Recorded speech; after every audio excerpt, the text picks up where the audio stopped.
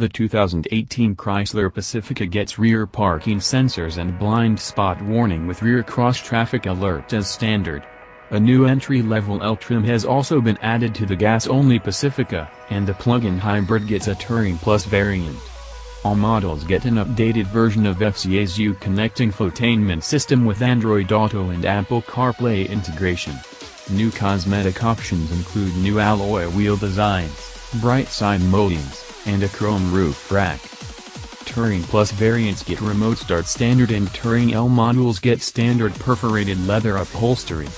The Touring L trim can now be had with a premium group with the 13-speaker Alpine audio system and a larger 8.4-inch touchscreen.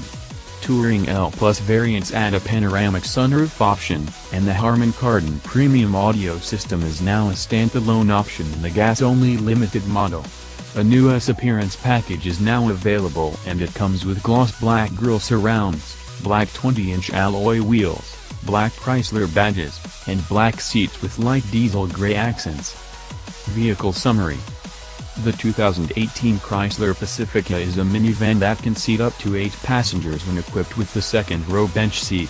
In addition to the standard gas-only Pacifica, there's also the Pacifica plug-in hybrid, which offers better fuel economy. However, the Pacifica Hybrid is only available with a 7 seats configuration.